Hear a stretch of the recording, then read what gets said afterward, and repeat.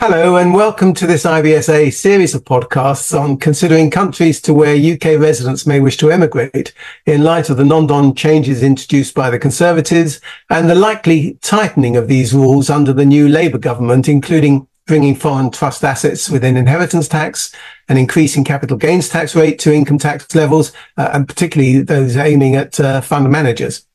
My name is Roy Saunders, founder and chairman of the IBSA, the International Business Structuring Association, which is a multidisciplinary global association of entrepreneurs and their professional advisors dedicated to sharing their expertise with each other within a great networking platform.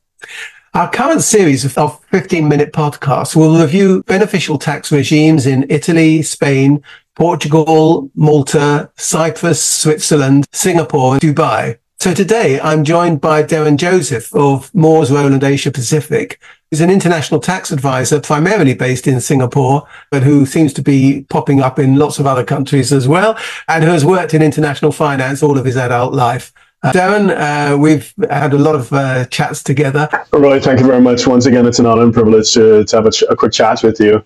My name is Darren Joseph with HTJ.tax, which is a member of Moores in Asia Pacific. So we're a team that seeks to demystify the sometimes confusing world of cross-border tax working with private clients all over the world. Singapore seems to have taken over from Hong Kong to a large extent. Are you finding people, particularly expats, coming from Hong Kong over to Singapore? Yeah, I mean, definitely that is somewhat of a cliche, the whole influx, not just from Hong Kong, but from Taiwan as well, and from mainland China. However, there is an argument that now that Hong Kong has achieved a steady state, that high net worth individuals, service providers, and some funds are returning to Hong Kong.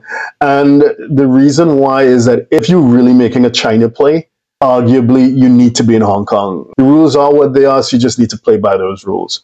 So I think as a gateway to China, it's hard to beat Hong Kong. Okay, well, I think mm-hmm. You know, what you've said, which is very interesting, and I will be talking to lots of other advisors about the beneficial tax regimes in their jurisdictions. I think what you said about the non tax considerations is probably the most important thing. So you're not really swimming against the tide. I think I agree totally with you. I know I had a, a client uh, was uh, selling his company and going to Jersey so many years ago now. And I said to him, What does your wife think about this? And uh, he said, uh, Oh, no, she she's happy. She's staying in the UK and staying with the grandchildren. And of course, what happens? They get divorced. He loses far more money than the tax that he would have saved.